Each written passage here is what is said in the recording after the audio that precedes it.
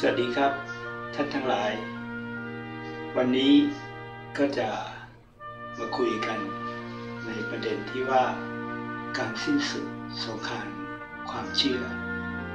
แท้จริงแล้วมนุษยชาตินั้น มีสงครามความเชื่อกันมามากมายในอดีตรากฐานที่สำคัญที่สุดของการเกิดสงครามทางความเชื่อก็คือ มนุษยชาตินั้นล้วนตกอยู่ภายใต้อำนาจของมาราย ซึ่งเป็นศัตรูกับอาณาจักรสวรรค์ นั่นคือสาเหตุที่สำคัญที่ทำให้เราเป็นศัตรูต่อกัน ในอดีตมนุษยชาตินั้นเป็นศัตรูต่อกันเรื่อยมานะครับ นี่คือข้อแท้จริงที่เกิดขึ้นกับประวัติศาสตร์ของเรานะครับ อาณาจักรสวรรค์เป็นเจ้าของทุกสิ่งทุกอย่าง รวมทั้งชีวิตของเราทุกคน ดังนั้นอาณาจักรสวรรค์จะต้องนำพาเราไปสู่ความมุ่งหมายของชีวิต ที่มุ่งหมายในการสร้างสรรค์พวกเราขึ้นมาทุกคน ท่านไปดูสไลด์อื่นๆนะครับที่เราอธิบาย เหตุผลว่าอาณาจักรสวรรค์นั้นสร้างเรามาอย่างไรนะครับ เราเป็นผลลัพธ์ของอาณาจักรสวรรค์ และมนุษย์นั้นคือผลลัพธ์ที่ดีที่สุดในแผนการในการสร้างสรรค์ทั้งหมดมีแต่มนุษย์เท่านั้นนะครับที่อยู่ในความมุ่งหมายสูงสุดในกระบวนการในการสร้างสรรค์ใน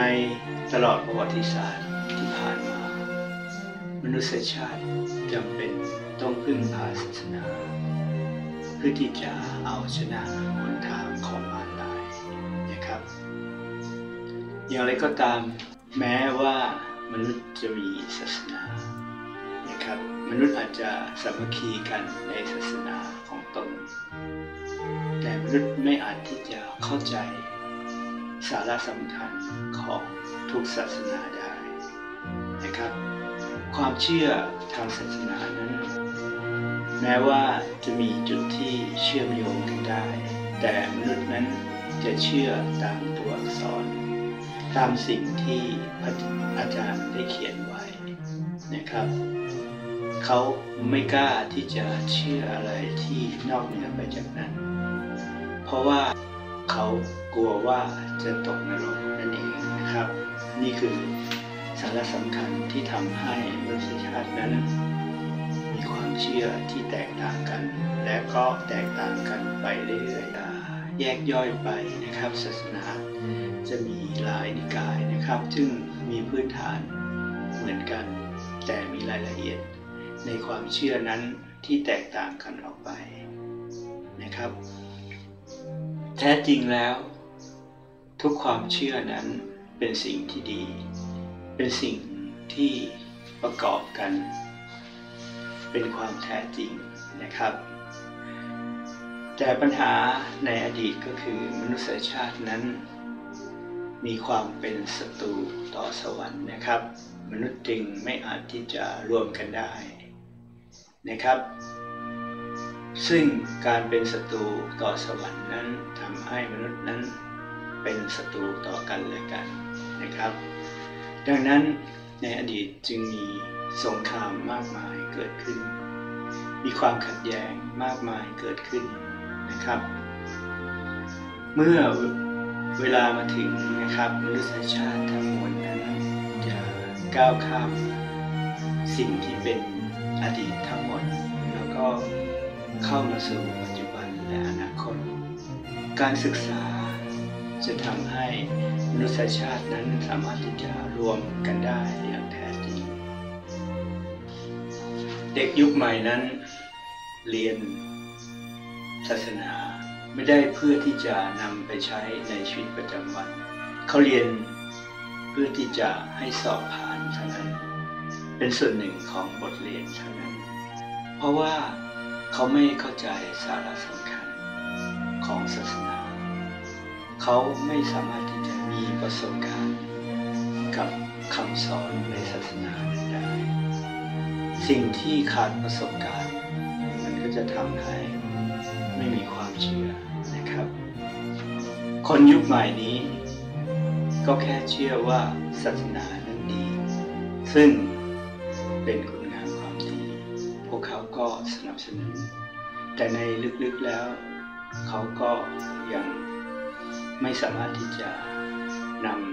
ำทั้งหมดเป็นเป็นเนื้อเดียวของชีวิตของเขาได้ หมายความว่าจะไม่มีใครที่เป็นเนื้อเดียวกับศาสนา เราพูดสิ่งเหล่านี้ ตามความแท้จริงตามข้อเท็จจริงที่มันเกิดขึ้น เพราะว่าศาสนานั้นเกิดขึ้นมาในยุคหนึ่ง ในแต่ละยุคแต่ละสมัย บางศาสนาอาจจะมีอายุมาก บางศาสนาอาจจะมีอายุน้อย แต่ศาสนาทั้งมวลเหล่านั้นล้วนกล่าวถึงการสิ้นสุดนะครับ การสิ้นสุดคือยุคใหม่หรือยุคสุดท้ายแท้จริงแล้วสวรรค์นั้น จัดการเรื่องราวเหล่านี้ทุกกระบ ความแท้จริงก็คือทุกศาสนานั้นเกิดมาภายใต้แผนการของอาณาจักรสวรรค์มันไม่ใช่ว่าเอ่อเกิดขึ้นมาเองนะครับ เพราะพระศาสดาค้นพบอะไรบางอย่างนะครับ แต่แท้จริงแล้วทุกศาสนาไม่มียกเว้น มียกเว้นแค่ศาสนาที่จอมปลอมที่หลอกลวงเท่านั้น ครับซึ่งศาสนาที่จอมปลอมที่หลอกลวงนั้น ก็มีอาจที่จะดำรงอยู่ตลอดไปได้ ซึ่งศาสนาเหล่านั้นก็จะเสื่อมสลายไปอย่างรวดเร็ว เพราะว่าศาสนาต่างๆที่หลอกลวงนั้นไม่ได้เป็นแผนการของสวรรค์ แต่ศาสนาทั้งหลายที่เป็นศาสนาที่แท้จริงนั้นล้วนอยู่ในแผนการของสวรรค์ มันต่างกันแค่ยุคสมัยกับสถานที่ที่ศาสนา หรือพื้นที่ที่ศาสนานั้น ได้ก่อตัวขึ้น ตามภูมิหลังของวัฒนธรรมต่างๆ ที่เกิดขึ้นมาในสภาพแวดล้อมที่แตกต่างกัน ศาสนาต่างๆจึงเกิดขึ้นมาบนพื้นฐานเดิม ที่เคยมีกลุ่มความเชื่อหรือกลุ่มศาสนาก่อนหน้านั้น อย่างเช่นในศาสนาคริสต์เนี่ยก็เกิดขึ้นมาบนพื้นฐานของความเชื่อของศาสนายูดาห์นะครับกลายมาเป็นศาสนาคริสต์หลังจากที่พระเยซูปรากฏตัวขึ้นบนโลกแล้ว ศาสนาพุทธก็เช่นกัน ศาสนาพุทธก็มีพื้นฐานมาจากพราหมณ์ฮินดูนะครับ ซึ่งเราจึงกล่าวได้ว่า ศาสนาต่างๆเกิดขึ้น จากสภาพแวดล้อมที่ถูกเตรียมไว้สำหรับศาสนานั้นๆนะครับ และศาสนาต่างๆเหล่านั้น เกิดขึ้นมาตามยุคสมัยที่กำหนดเอาไว้นะครับ ถ้าเราเข้าใจสาระสำคัญเหล่านี้แล้ว เราสามารถที่จะยุติสงครามทางความเชื่อของมนุษย์ นุษยชาติจะเข้าใจความแท้จริงของชีวิต และดำเนินชีวิตร่วมกันอย่างผาสุกได้ มันไม่ใช่เป็นแผนการของเรา มันไม่ใช่เป็นสิ่งที่เราคิดกันกันเอาเอง แต่สวรรค์นั้นได้วางแผนไว้สำหรับสวรรค์ทุกประการเพียงแต่ว่าเราจะต้องเข้าไปศึกษาดูว่าแผนการของสวรรค์นั้นเป็นเช่นไรเท่านั้นเอง เด็กรุ่นใหม่ นะครับ เขาจะไปโดยที่ไม่ต้องผ่านสิ่งที่บรรพบุรุษสร้างไว้นะครับ เขาจะสามารถที่จะไปสู่อุดมคติได้ พวกเขาจะมีการศึกษาที่ดี การศึกษาที่มีเหตุมีผล การศึกษาที่พัฒนามากกว่าคนในอดีต การศึกษานั้นจะนำเราไปสู่ความสมบูรณ์ของชีวิต และมนุษยชาติจะเข้าใจพื้นฐานของตัวเอง ซึ่งเกิดมาจากพื้นฐานของครอบครัวนะครับพื้นฐานของครอบครัวนั้น ครอบครัวนั้นเป็นแพลตฟอร์ม เป็นรูปแบบที่อาณาจักรสวรรค์นั้นได้ใช้สร้างมนุษยชาติขึ้นมา เมื่อ เราสามารถที่จะกำจัดอุปสรรคออกไปได้แล้ว อุปสรรคดังกล่าวก็คือ การแทรกแซงของมารลายนั่นเองหมายความว่าเมื่อไม่มีมารลายแล้ว มนุษยชาติจะสามารถที่จะไปสู่ปลายทางของชีวิตได้โดยผ่านครอบครัวนะฮะนี่คือสาระสำคัญของยุคต่อไปมนุษยชาติจะ ที่เหมือนกัน นี่คือการสิ้นสุดของสงครามทางความเชื่อ ที่มีมานานแสนนาน ซึ่งจะต้องยุติลงตามแผนการของสวรรค์ในยุคสุดท้าย ท่านจะต้องพิจารณาสิ่งเหล่านี้ด้วยตัวท่านเอง เราไม่ได้ขอร้องให้ท่านเชื่อในสิ่งที่เราคิด แต่เรากำลังบอกว่าแผนการของสวรรค์นั้นเป็นเช่นไร แผนการของชีวิตของเราเป็นเช่นไร และแผนการของชีวิตของเรานั้นจะต้องสอดคล้องกับความแท้จริง ซึ่งเป็นแผนการของสวรรค์นะครับ ทุกคนสามารถที่จะเข้าใจประเด็นเหล่านี้ได้ด้วยตัวเองนะครับ เรามาร่วมกันเสวนาวิเคราะห์วิจารณ์ พื่อที่จะเปิดประเด็นให้เข้าใจตรงกันนะครับ และแล้วเราจะยุติสงครามทางความเชื่อได้นะครับ สิ่งที่เกิดขึ้นในอดีตตำราต่างๆที่ถูกสอนมาในอดีตตำราเหล่านั้นได้พาเรามาสู่ปัจจุบันเท่านั้น แต่ในอนาคตเราจะต้องเข้าใจประเด็นใหม่ ที่ตรงกันที่เป็นความแท้จริง ซึ่งปราศจากข้อถกเถียงนะครับ ใครจะเถียงกับความแท้จริงได้ เถียงไปก็ไม่สามารถที่จะชนะได้ ความแท้จริงก็คือความแท้จริงนะครับ ความแท้จริงนั้นนับได้ว่า เป็นอภินิหาร เป็นความมหัศจรรย์นะครับ เป็นสิ่งศักดิ์สิทธิ์สูงสุด ถ้าเราเข้าใจความแท้จริง และดำเนินชีวิตตามความแท้จริง เราก็จะมีคุณค่า เราก็จะมีชีวิตที่บริสุทธิ์และศักดิ์สิทธิ์นะครับ เราไม่ได้พาท่านไปสู่ความเชื่อใดๆ ศาสนาต่างๆ ความเชื่อต่างๆนั้น เป็นสะพานที่เราเดินมานะครับ เป็นความปรารถนาดีของสวรรค์ที่สร้างสะพานที่แตกต่างกันบนทางที่แตกต่างกัน เพื่อนำทุกชนชาติ ทุกความเชื่อ ทุกสีผิว ทุกสภาพแวดล้อมไปสู่จุดหมายปลายทาง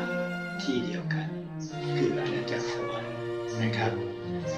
กล่าวได้ว่าอาณาจักรสวรรค์มีโครงสร้างแบบนี้ โครงสร้างของครอบครัวนะครับปราศจากครอบครัวนะครับ มันจะไม่มีใครเกิดขึ้นดำรงอยู่และทวีคูณเลยนะครับ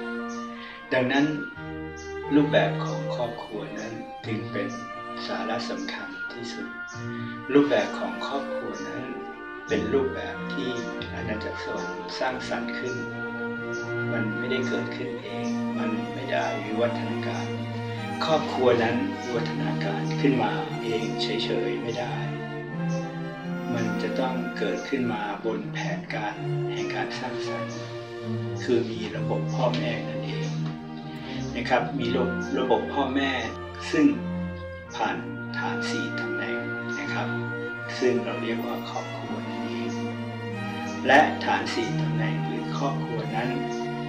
ก็เกิดขึ้นบนพื้นฐานของความรักนะครับ ความรักที่สร้างชีวิตและสายเลือดนะครับ ซึ่งมีสัญลักษณ์เป็นผลไม้นะครับ ผลไม้ที่อาดัมและเอวาละเมิดนั้นก็คือผลไม้แห่งชีวิต ผลไม้หมายถึงผลนะครับ ผลที่อาณาจักรสวรรค์นั้นสร้างขึ้นเพื่อที่มนุษย์ จะเกิดขึ้นมาจากผลนั้นนะครับ นอกจากผลไม้จะเป็นผลแล้ว ผลไม้ยังเป็นเหตุอีกด้วย หมายความว่าในผลไม้นั้นก็มีเมล็ดพันธุ์ใหม่นะครับ เพื่อที่จะสร้างต้นไม้ใหม่ และผลใหม่ก็จะเกิดขึ้นมาจากต้นไม้นั้น ดังนั้นคำว่าผลไม้นั้นจึงหมายถึง เหตุและผลนะครับ เราทุกคนมาจากเหตุและผลนั้น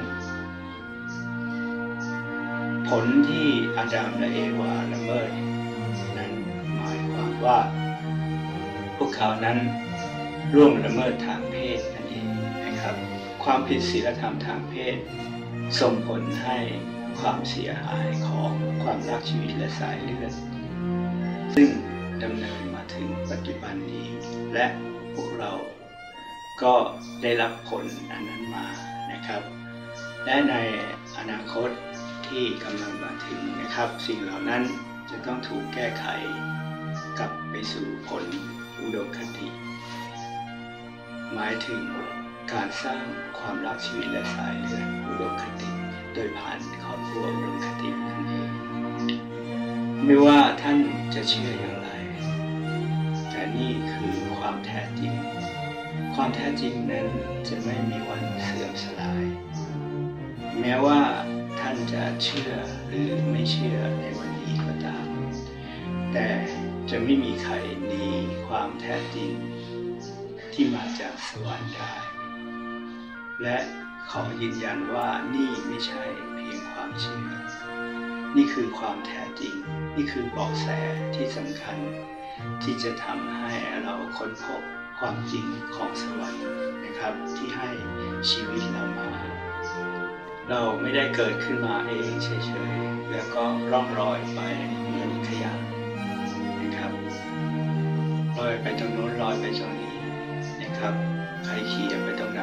ก็ไปมันไม่ใช่แบบนั้นนะครับในยุคใหม่ในยุคสุดท้ายมนุษยชาติทั้งมวลนั้นจะต้อง เข้าใจถึงความแท้จริงที่เป็นรากฐานที่สุดของชีวิต ซึ่งเกี่ยวข้องกับอาณาจักรสวรรค์นะครับ ไม่ว่าสถานการณ์จะเลวร้ายอย่างไร แต่ความรักที่แท้จริงที่มาจากสวรรค์นั้น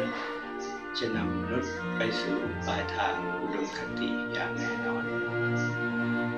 คนทั้งหลายกล่าวกันว่า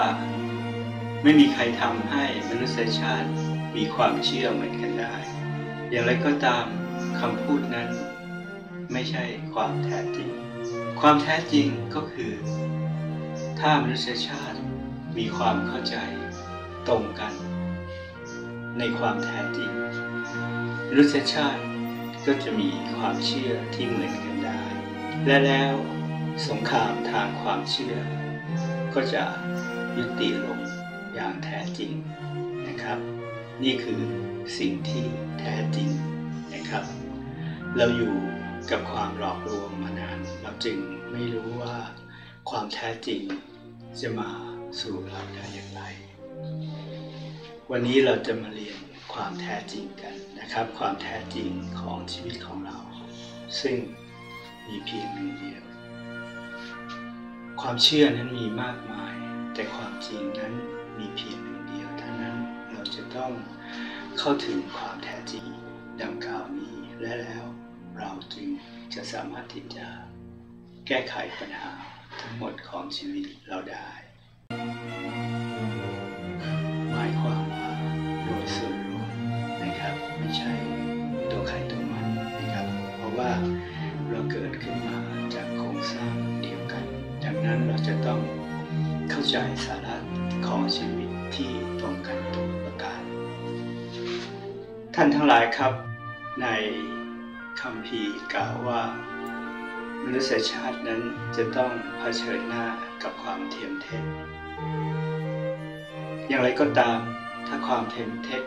ปรากฏขึ้นจริงๆ เราจะรู้ได้อย่างไรว่า อันไหนคือความเทียมเท็จ อันไหนคือความแท้จริง ดังนั้น สาระสำคัญของเราก็คือ เราจะต้องค้นหาความแท้จริง เพื่อที่จะเอาชนะความเทียมเท็จเหล่านั้น สิ่งที่เกิดขึ้นในอดีตนั้น เป็นความจริงที่ประกอบเป็นความแท้จริง ซึ่งในอดีตนั้นยังไม่มีความบริบูรณ์ แต่อนาคตนั้นมนุษยชาติจะเข้าสู่ความแท้จริงอันยิ่งยวด นะครับ ซึ่งสามารถที่จะเอาชนะความเทียมเท็จได้ ดังนั้นไม่ต้องกลัวว่าความเทียมเท็จจะครองโลกนี้ได้ ความเทียมเท็จนั้นจะอยู่ได้ชั่วคราว และก็สลายไปในที่สุด และแล้วเมื่อความแท้จริงปรากฏอย่างบริบูรณ์แล้ว ความเทียมเท็จก็จะสลายไปอย่างถาวร ขอให้เข้าใจว่าความเทียมเท็จนั้น ไม่อาจที่จะครองโลกนี้ตลอดไปได้ ความเทียมเท็จนั้นจะสลายไปพร้อมกับมารร้าย เมื่อเรารู้ความจริงว่ามารร้ายคือผู้หลอกลวงนะครับ เราก็สามารถที่จะเอาชนะความหลอกลวงนั้นได้ มันไม่ใช่เรื่องที่เราจะไปบริหารจัดการอะไรได้ เราแค่ ติดตามหนทางแห่งความแท้จริงของสวรรค์เท่านั้น นี่คือความแท้จริง อันยิ่งยวดเราจะต้องพินิจพิเคราะห์ด้วยเหตุด้วยผลที่เป็นจริง และสอดคล้องกับความแท้จริงของสวรรค์ เราอย่าไปคิดเอาเองว่าอันโน้นอันนี้อันนั้นจะเกิดขึ้นนะครับ ทุกอย่างนั้นจะอยู่ภายใต้การ ควบคุมของอาณาจักรสวรรค์อย่างบริบูรณ์ นี่คือความแท้จริงเกี่ยวกับยุคสุดท้ายที่กำลังมาถึ all ง peoples and all religions. If you find someone be your spouse, you should understand your basics, which have the same and the difference between humans. Man, woman, all are born of father. There is a father inside completely, and mother. This is miraculous. Everyone comes from the two sides are opposite and balance. Great amount, equal, the same conclusion. Use the same principle. If this equation is absolute, evolutionary theory is false. This is where the great ancestors of all people are in common. If all and every religion can be understood, this pedigree model humanity will be rescued from all suffering immediately. This is the solution to the problem of humanity, the easiest. Please remember this model. Then everyone will discover true happiness together forever. Because everyone is born of the highest miracle like this. We all have to be grateful. From now, all couples will have to live. This is the first standard. All peoples and all religions.